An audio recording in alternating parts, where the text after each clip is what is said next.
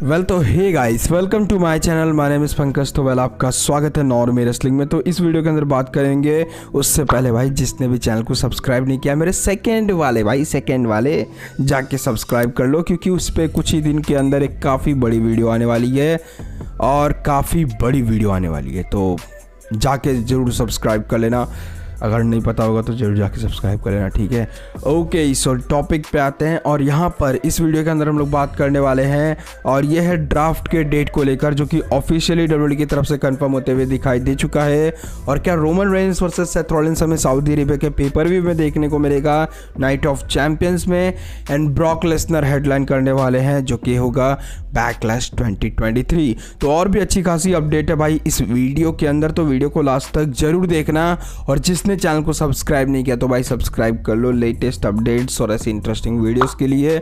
Okay so चलते हैं friend topic पे आते हैं। सो टॉपिक की शुरुआत ही करते हैं जो कि ब्रे वाइट को लेकर। तो भाई ब्रे वाइट को लेकर क्या कुछ अपडेट है? अभी भी क्लियरली हमें कुछ देखने को नहीं मिल रहा। तो क्लियरली अभी एक और अपडेट आई है, जिस अपडेट के अकॉर्डिंग ब्रे वाइट अभी भी इलनेस की वजह से यहाँ पर, जो कि डब्ल्यू के अंदर नहीं देखने को मिल रहा है, लेकिन एक्सेप्टेड ये किया जा रहा है मतलब एक्सपेक्टेड है कि मे बी हमें जो ब्रे वाइट है वो रिटर्न करते हुए दिखाई दे जाए बैकलैश के बाद। वेल ऐसी यहाँ पर हमें रिपोर्ट देखने को मिलती ही रहेंगी।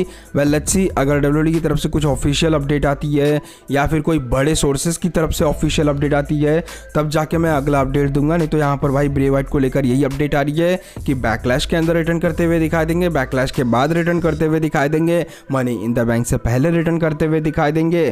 तो ये सब स्पेकुलेशन है लेट्स सी हमें ब्रे वाइट कब तक देखने को मिलते हैं। लेकिन ये है कि भाई ब्रे वाइट के साथ में अभी प्रॉब्लम चल रही है तो आने वाले समय में रिटर्न में थोड़ी बहुत देरी हो सकती है, लेकिन ब्रे वाइट हमें जल्दी ही डब्ल्यू के अंदर देखने को मिलेंगे। भाई, पता नहीं कैसे यहाँ पर इतने बड़े प्रॉब्लम्स आ जाते हैं भाई ब्रे वाइट के साथ में हर बार, ऐसे बड़े बड़े मौके पे। वैसे अगले अपडेट की तरफ़ चलते हैं तो ये अपडेट हमें देखने को मिल रहा है ड्राफ्ट 2023 को लेकर। तो ड्राफ्ट 2023 का ऑफिशियल डेट कंफर्म होते हुए दिखाई दे चुका है। तो जो फ़र्स्ट डेट हमें यहाँ पर देखने को मिल रहा है, वो है 28 अप्रैल का। यस 28 अप्रैल का डेट जो कि कंफर्म हुआ है, जो कि हमें देखने को मिलेगा स्मैकडाउन उसमें हमें फ़र्स्ट यहाँ पर ड्राफ्ट देखने को मिलेगा। देन इसके बाद second May sorry first May मतलब सेकेंड मई इंडिया में होगा। तो फ़र्स्ट मई पे हमें ड्राफ्ट देखने को मिलेगा, जो कि होगा मंडे नाइट रॉक के अंदर। तो यानी कि जो हमें, यानी कि 28 अप्रैल जो हमें फ़र्स्ट स्मैकडाउन देखने को मिलेगा, वहाँ पर हमें पहला ड्राफ्ट देखने को मिलेगा।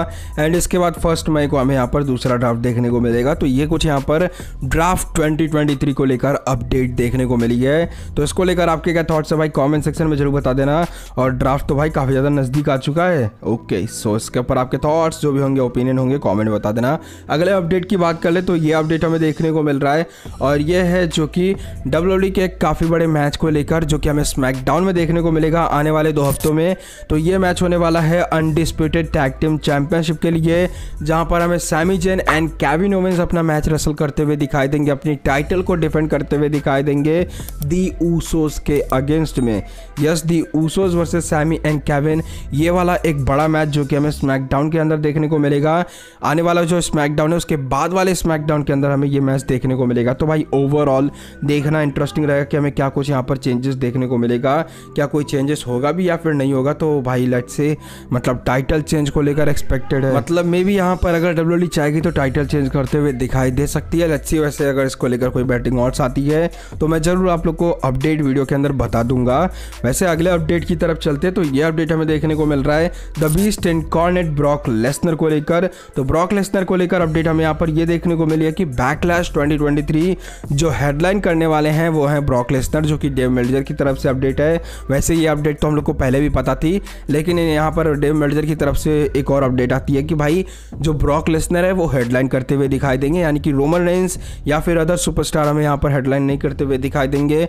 बैकलैश को, बैकलैश के जो मेन हेडलाइन होंगे वो होंगे the beast incarnate Brock Lesnar and Cody Rhodes. तो ये कुछ यहाँ पर काफ़ी बड़ी अपडेट देखने को मिल रही है। इन दोनों सुपरस्टार्स को लेकर, वैसे इसके ऊपर भी आपके थॉट्स क्या है, क्या सही बात है वो फिर या फिर नहीं? वैसे ब्रॉक लेसनर तो भाई है बड़े सुपरस्टार वो हेडलाइन करना बनते भी हैं। तो आपके क्या थॉट्स है इस थिंग के ऊपर कमेंट सेक्शन में ज़रूर बता देना। अगले अपडेट की बात कर ले तो ये अपडेट हमें देखने को मिल रहा है Roman Reigns versus Seth freaking Rollins को लेकर। तो क्या Roman Reigns versus Seth freaking Rollins हमें नाइट ऑफ़ चैंपियंस में देखने को मिलेगा? इसको लेकर क्या कुछ अपडेट है? तो जैसा कि आप लोग को बता दूँ कि रूमर हमें यहाँ पर ये देखने को मिल रहा है कि डब्ल्यू डब्ल्यू यहाँ पर प्लान करते हुए दिखाई दे सकती है Roman Reigns versus Seth Rollins at Night of Champions इसके पीछे का एक काफ़ी बड़ा रीज़न है। रीज़न ये है कि रोमन रेंस का 1000 डेज़ वहाँ पर कंपीट होगा और वहाँ पर अगर कोई बड़ा मैच होना है तो वो सेथ फ्रेकिंग रॉलिंस के साथ में काफ़ी बड़ा मैच बनते हुए दिखाई दे सकता है। एंड डब्ल्यू यहाँ पर may be one days compete करने के साथ साथ यहाँ पर हो सकता है कि रोमन रेंस के टाइटल को हटवा भी दे उनके साथ में।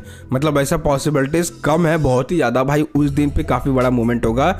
लेकिन ऐसे में डब्ल्यू टाइटल तो हटवाना तो नहीं चाहेगी, लेकिन मे भी एक काफ़ी बड़ा सेंस बना सकता है। क्योंकि नाइट ऑफ़ चैंपियंस भाई सेथ रॉलिंस जानते रहोगे क्या कुछ उन्होंने कर रखा है पहले भी। नाइट ऑफ़ चैंपियंस में आई थिंक उन्होंने डबल चैंपियनशिप भी जीत रखी है तो ऐसे में कह नहीं सकते। सेथ रॉलिंस कुछ भी कर सकते हैं। तो भाई हो सकता है, अगर डब्ल्यूडी चाहे तो ऐसा प्लान करते हुए दिखाई दे सकती है, अगर सेथ रॉलिंस को जितवाना है एक्चुअल में।